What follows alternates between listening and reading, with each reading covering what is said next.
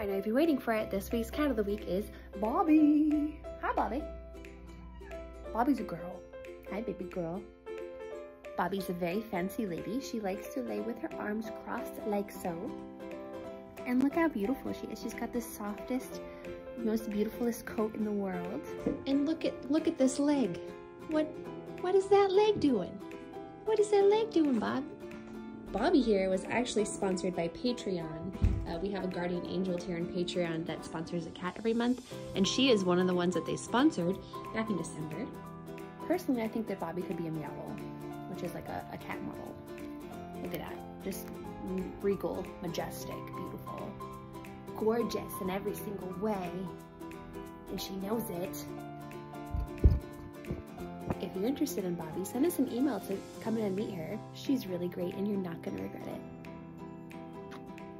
You like kisses? Oh, she likes kisses. Oh, I didn't know that. That's new. A pile of treats for Bobby. You want some too?